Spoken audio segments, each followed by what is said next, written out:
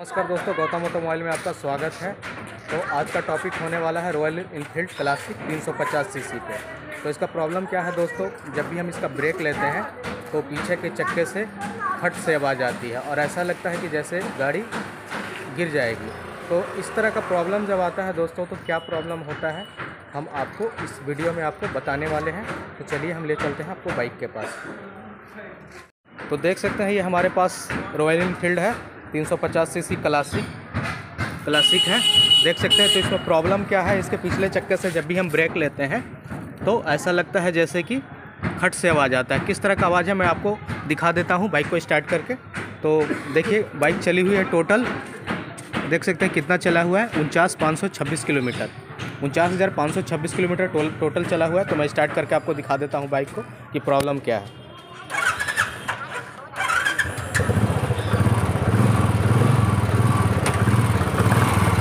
Bike start है। देख सकते हैं।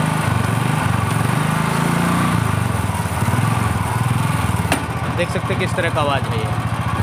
देख सकते हैं। देख सकते जब भी हम ब्रेक को लेंगे, कैसे आवाज़ चलेगी। देख सकते कैसे आवाज़ आई है तो इस तरह का जब आवाज़ आए तो इसे कैसे सॉल्व करते हैं दोस्तों, इस वीडियो में मैं आपको जानकारी देने वाला टाइम को वेस्ट किए बिना हम स्टार्ट करते हैं कि क्या क्या आपको ज़रूरत पड़ेगा, इस तरह का प्रॉब्लम जब आता है। देख सकते हैं, ये सारे टूल्स मैंने ले लिए हैं। और इसे ओपन करते हैं और दिखाते हैं इसमें क्या प्रॉब्लम है। तो देख सकते हैं आप मैंने सारे टूल्स को ले लिया है। ये आपको दे, आप देख सकते हैं 24 नंबर का ये गोटी है जो यहाँ पे आपका लगेगा इस तरह से। तो पहले हमें इसे ओपन करना है। ओपन करने के बाद क्या है यहाँ पे देख सकते हैं चौदह नंबर का ये ब्रेक वाला है ब्रेक का लगेगा। और उसके बाद यहाँ पे देख सकते हैं अठारह नंबर का बोल्ट है। इसे भी हमें ओपन करेगा ओपन करना पड़ेगा। उसके बाद देख सकते हैं ये ये आपका तीस नंबर का गोटी है जो यहाँ लगेगा और इसके जो होता है इसका ड्रम, ब्रेक सू इसी में है तो इसे भी हमें ओपन करना पड़ेगा। तो चलिए हम ओपन करते हैं और दिखाते हैं आपको।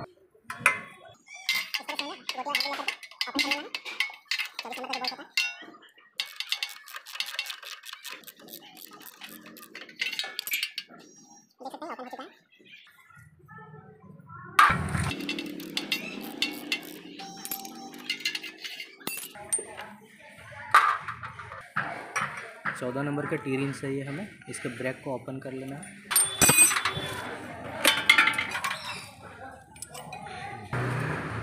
अठारह नंबर के रिंग रिंग से हमें, डायल रिंग से इसे भी ओपन कर लेना है, देख सकते हैं, अठारह नंबर का बोल्ट होता है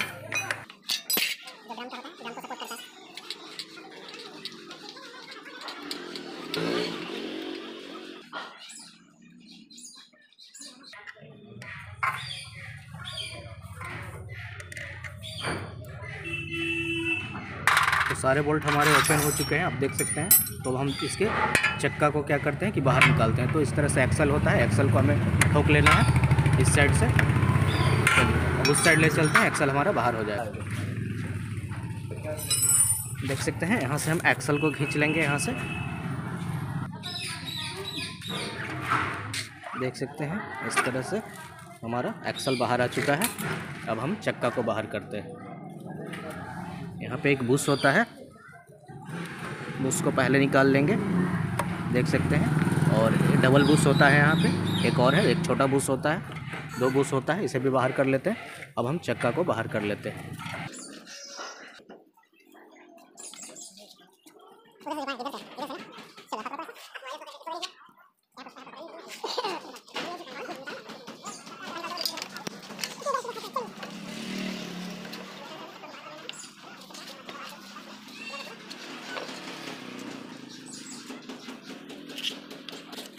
हमारा ब्रेक होता है पूरा चिकना पड़ जाता है जिसके कारण हमारा जो है इस तरह का आवाज़ आ जाता है और देख सकते हैं हल्का कटा हुआ भी है तो तो देख सकते हैं किस तरह से इसका जो ब्रेक था देख सकते हैं ये पूरा ख़राब हो चुका है। देख रहे हैं कैसे यहाँ पे कटा कटा हो, हो चुका है। ये कभी भी टूट सकता है दोस्तों। तो क्या करेंगे हम इसे? इसे रिप्लेस ही हम कर देंगे क्योंकि इसमें इसे अब हम सरस पेपर मार के यूज़ नहीं करेंगे। तो नया वाला लाते हैं और नया वाला हम इसमें इंस्टॉल करते हैं। इंस्टॉल करके आपको दिखाते हैं और देख सकते हैं इसका ये ड्रम हुआ। तो ड्रम का भी कंडीशन काफ़ी ख़राब है। देख सकते हैं इसके दांत जो होते हैं पूरा का पूरा टूटा हुआ है। देख रहे हैं ये? ये सारा का सारा टूटा हुआ है। बट कस्टमर भाई साहब का कहना है कि अभी हमारे पास पैसा नहीं है तो इसी का काम, इसी से काम चला दीजिए। तो क्या है, हम इसे, इसमें ड्रम में क्या है, सरस पेपर मार देते हैं और मारने के बाद हम इससे रिप्लेस करके आपको दिखाते हैं। तो चलिए इसे ओपन कर लिया है हमने। ओपन करने के बाद अब नया वाला इंस्टॉल करते हैं। दिखाओ नया वाला। देख सकते हैं नया वाला ये रॉयल इनफील्ड का है आपका दोस्तों। आपका कितना ये पड़ेगा, देख सकते हैं। तीन सौ बीस रुपया इसका एमआरपी है। तो वही तीन सौ दस आपको पड़ेगा। तो चलिए इसे ओपन करते हैं और आपको दिखाते हैं इंस्टॉल करके। ये जेन्यून पार्ट है रॉयल इनफील्ड का, आप देख सकते हैं। चलिए ओपन करते हैं। तो प्लेट को भी हमने पूरा साफ़ कर लिया है, देख सकते हैं इस तरह से।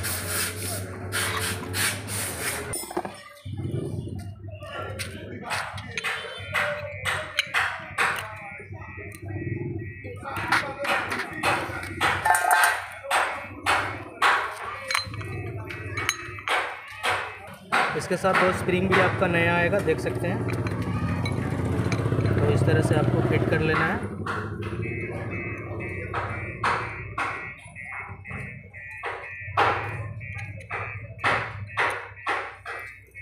फिटिंग हो गया। है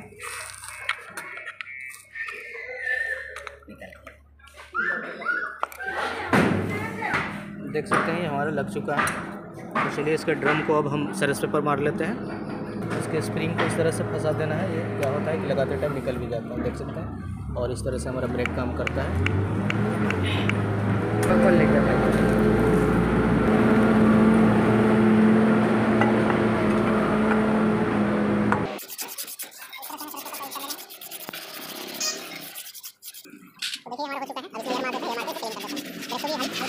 बट फिर भी हम इसमें हल्का हल्का सरस पेपर मार लेंगे। दोनों साइड हमें हल्का हल्का सरस पेपर मार लेना। है क्योंकि ये चिकना होता है तो इसे रुखड़ा बनाने के लिए हमें सरस पेपर का यूज़ करना पड़ता है। तो चलिए, हो चुका है। दोनों में ईयर मार लेते हैं। हवा मारो। तो इस तरह से एयर मार लेंगे। एयर मार देख सकते हैं। तो इसे हम ग्रीसिंग थोड़ा कर लेते हैं, क्योंकि काफ़ी टाइम से ही है। देख सकते हैं कितना गंदा पड़ा हुआ है।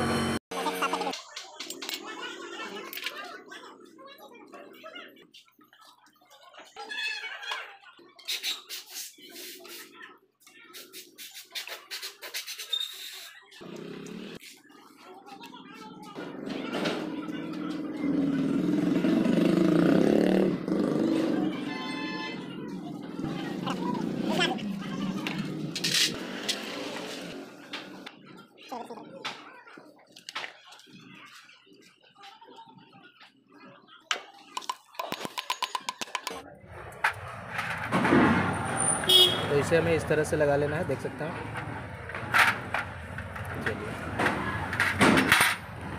तो पहले हाफ़ एक्सल को फंसा लेते हैं। इसके जो ब्रेक का ड्रम होता है, इसे पहले हम उसमें लगाएँगे। किस तरह लगाना है, चलिए आपको बता दें। सारे पार्ट्स को मैंने क्लीन कर लिया, देख सकते हैं। सारे को वॉश कर लिया है। तो कैसे लगाना है, चलिए ले चलते देख सकते हैं, ये बूस होता है जो हमारा, यहाँ पे एडजस्ट होगा इस तरह से लगा करके हमें और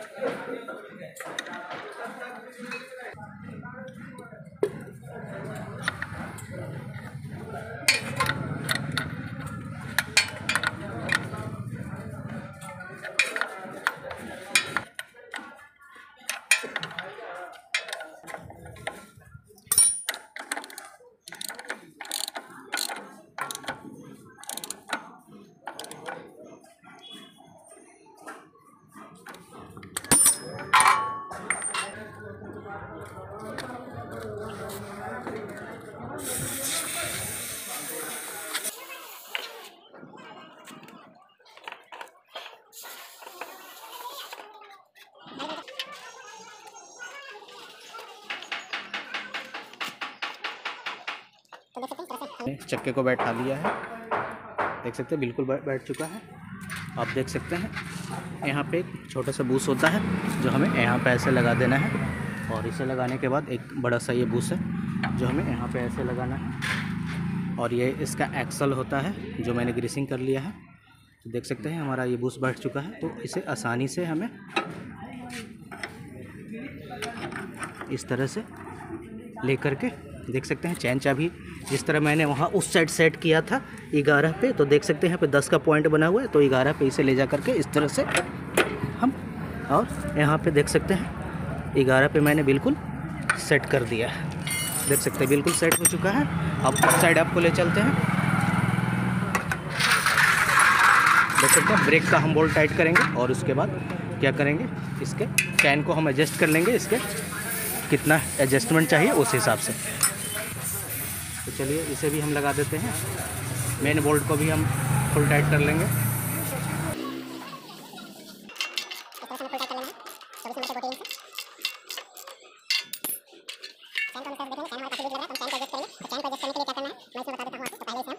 थोड़ा लूज करते हैं।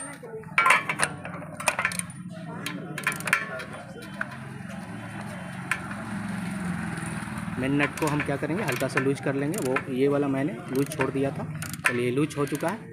अब क्या करेंगे? तो इसे भी हल्का लूज करेंगे। उन्नीस उन्नीस नंबर से लूज कर लेंगे, देख सकते हैं। चलिए अब इसे हम एडजस्ट करेंगे। जितना पे हमें एडजस्ट करना है, उस इस हिसाब से हमें एडजस्ट करना है यहाँ से। देख सकते हैं। दस, ग्यारह, बारह, तेरह। तेरह पे मैंने रख लिया है। ये सही लग रहा है। तेरह पे थोड़ा और लूज हो रहा है। तो क्या करेंगे? थोड़ा सा और ऊपर कर लेंगे। चलिए, चौदह पे कर लिया मैंने।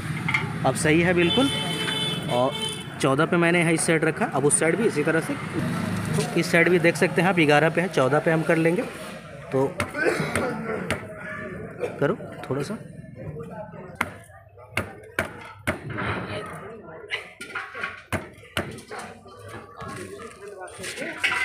साइड मैंने तेरह, चौदह पे रखा था दोस्तों। इस साइड भी मैं कर लेता हूँ इसे। तो इस तरह से इसके एडजस्टर को दस, ग्यारह, बारह, तेरह और एक चौदह पे कर लेते हैं। देख सकते हैं, चौदह पे मैंने रख लिया है, पंद्रह एक पॉइंट नीचे है, एक पॉइंट ऊपर है, देख सकते हैं, चौदह पे मैंने रख लिया इस तरह से उस साइड भी आपको दोनों साइड मैंने एडजस्ट कर लिया है। अब चैन देख सकते हैं चैन इसका बिल्कुल सही है, एकदम देख सकते हैं, बिल्कुल सही है। अब इसे फुल टाइट कर लेते हैं। तो चलिए, तीस नंबर वाले को पहले क्या करेंगे? फुल टाइट करेंगे।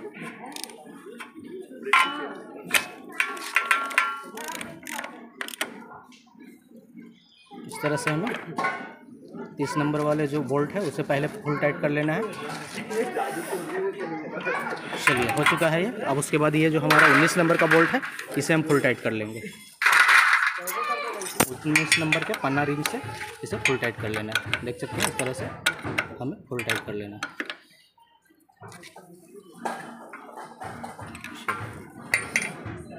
चलिए, ये भी हमारा हो चुका है। अब इसके ब्रेक को हम अब अब क्या करेंगे? इसके मेन जो बोल्ट हुआ इसे हम टाइट कर लेते हैं। चौबीस नंबर की गोटी से।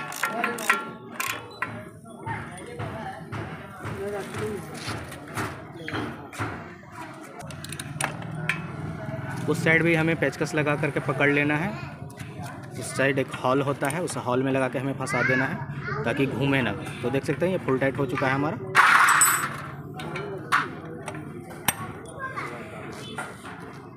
चलिए फुल टाइट हो चुका है हमारा, देख सकते हैं। अब ये बच गया हमारा ब्रेक का। तो चलिए ब्रेक को भी हम फंसा लेते हैं। देख सकते हैं ब्रेक का तार है। तो ब्रेक के तार को हम फंसा लेते हैं।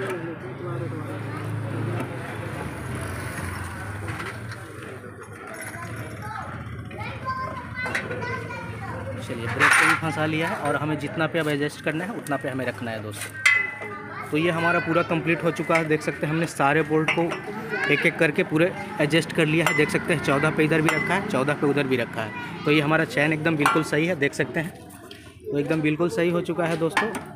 देख सकते हैं ब्रेक हमें, ब्रेक टाइट कर लेते हैं। ब्रेक को टाइट करके जितना पे हमें रखना है, उतना पे हमें एडजस्ट रख सकते हैं। चलिए, हो गया।